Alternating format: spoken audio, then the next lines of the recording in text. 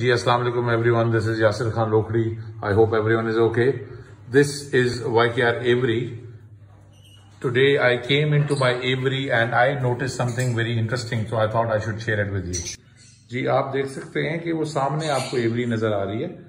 یہ ایوری سے باہر جب میں آیا تو میں نے ایک بڑی انٹرسٹنگ چیز یہاں پہ نوٹس کی. وہ نوٹس یہ کی کہ یہ ایک پیئر ہے جس کو علیحدہ سے یہاں پہ بھادر صاحب نے رکھا ہوا ہے. اور یہ میں جاننے کی کوشش کروں گا کہ بہادر صاحب نے یہ پیر یہاں پہ علیحدہ سے کیوں چھوڑا ہوا جی بہادر صاحب؟ جی السلام علیکم ناظرین۔ میں آپ کو یہ بتانا چاہتا ہوں کہ ہم نے یہ پرندے ادھر علیحدہ کیوں رکھے ہوئے ہیں؟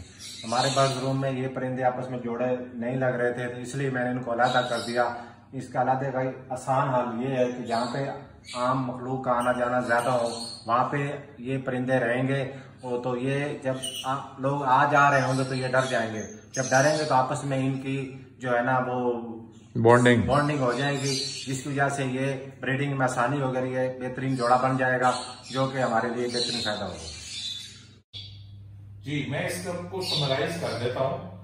بیسیکلی جب بھی آپ کا کوئی پیر چل نہ رہا ہو بانڈنگ کا ایشو آ رہا ہو اس کا ایک آسان سا یہ طریقہ ہے کہ آپ اس پیر کو علیحدہ کر دیں۔ ایسی کسی جگہ پہ رکھتے جہاں پہ اور کوئی برڈز نہ ہو اور نارملی ایسی جگہ ہو جہاں پہ انسانوں کی آمد و رفت زیادہ ہو۔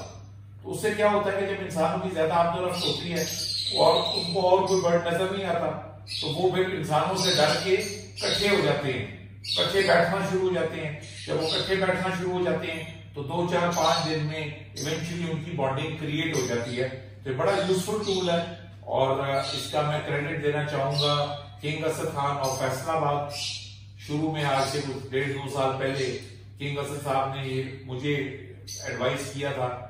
میں نے یہ ازمایا مجھے اس سے بہت فائدہ ہوا۔ تو آپ سے میں شیئر کر رہا ہوں تاکہ آپ سب کو بھی فائدہ ہو۔ Thank you